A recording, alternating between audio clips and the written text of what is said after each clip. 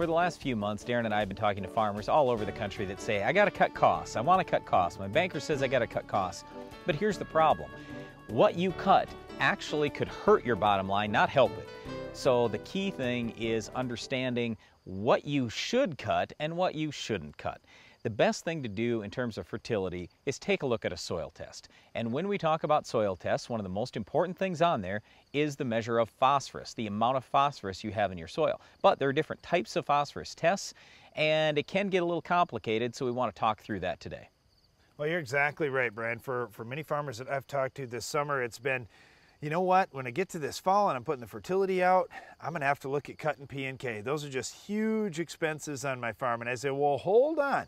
They're not expenses, they're investments in your next crop.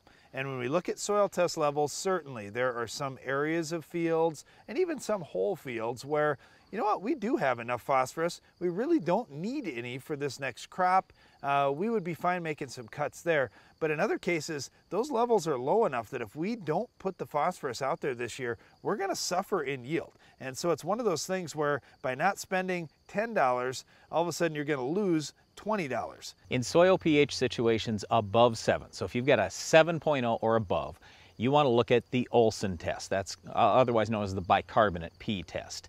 And that will tell you available phosphorus. That's, in other words, what's ready to go for your crop right away. Okay, in the lower pH, below 7, then we're going to look at both the Bray P1 and the Bray P2, so weak Bray and strong Bray. With the Bray tests, there's a big difference here. The P1 or weak bray, that's going to tell you what's available right now. The P2 or strong bray is going to tell you, well, how much is available now plus some of what's in reserve. So in other words, if let's say you had 100 for a P2 test, that tells you you've got a lot total in the soil, but you only have 10 for a P1, that tells you not very much of what's in the soil is available. You've got some tie-up issues going on from one reason or another, and then we need to talk through why.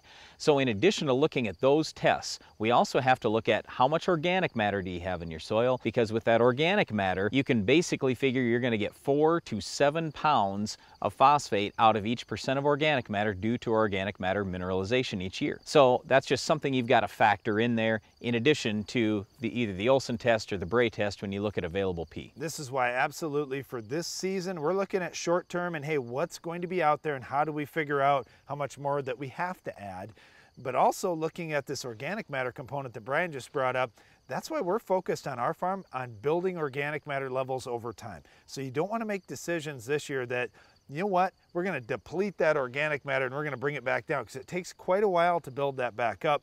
The other thing is we don't want to completely deplete our soils of fertility because all of a sudden it takes a while to build the microbial life back up. They need nutrients out there too. So in other words, what Darren is saying is as a general rule, we will tell you first, before you do anything else, before you even look at the soil test, let's talk about how much crop you're going to raise. And look at the Ag PhD fertilizer removal app. You can plug in whatever crop you have, your yield goal, and that will tell you how much phosphorus in total you need, or I should say how much phosphate. So on most soil tests, you will see a phosphorus number.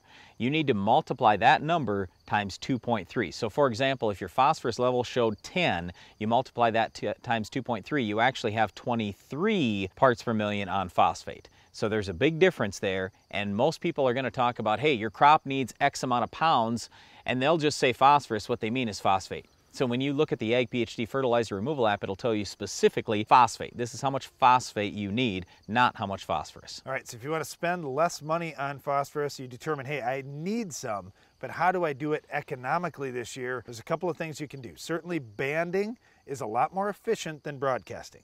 Let's just take a 30 inch row, for example, and, and a crop like soybeans that we're standing in. When you've got 30 inch row soybeans, how well are those roots really gonna reach 15 inches out to the side and grab everything out there? Especially if you're in a year where you're challenged for moisture. By putting all that phosphorus closer to the root system, you're able to get more of it in and the tests for years and years have shown our efficiency goes up dramatically moving phosphorus applications closer to the row. So whether you're putting it right in furrow with a real safe liquid product like a Pro Germinator, for example, that we use on our farm, that'd be one way to do it. You can certainly go over in a two by two, or even in strip till. You could really use just about any kind of phosphorus program. Maybe you're using MAP or DAP in the fall. You could band that down six or eight inches below the row And guess what? Your root system is going to grow right through that next spring and summer and, and grab most of that phosphorus. Okay, so we'll talk more about phosphorus applications on later shows. Today we got to focus here on how do you read that test. So take your number. Again, let's just use for easy figuring. We'll say 10. Okay, let's say it's 10 parts per million. That's phosphorus. You've got to multiply that times 2.3. Now you're up to 23. You've got to multiply that times 2. And the reason why you have to multiply times 2 is we're going to assume you've got a 6-inch soil test. If you had a 12-inch soil test, you'd multiply times 4. Where this comes from is in 6 inches of soil across an acre, that's roughly 2 million pounds. We're talking parts per million. So you've got to multiply your number times 2 if you have a 6-inch test. So 10 times 2.3 is 23, 23 times 2 is 46. So you've got 46 pounds of phosphate that's available right now. And then if you look at your organic matter, let's say again that you've got 5% organic matter, 5 times 4, that's going to give you another 20 pounds right there. So you've got 20 plus 46, you got 66 pounds. So I know we ran through this quickly, but here's the thing. If you need more information on this, you can certainly get in touch with us at agphd.com. Also, we do take live phone calls every day on our radio show. So call us at 844-44-AG-PHD every afternoon, and we can certainly talk through this with you. Otherwise, come to an Ag PhD Soils Clinic. They're free. We'll show you how to read a soil test this winter, and then you get some hands-on experience with it, but this is stuff you have to know.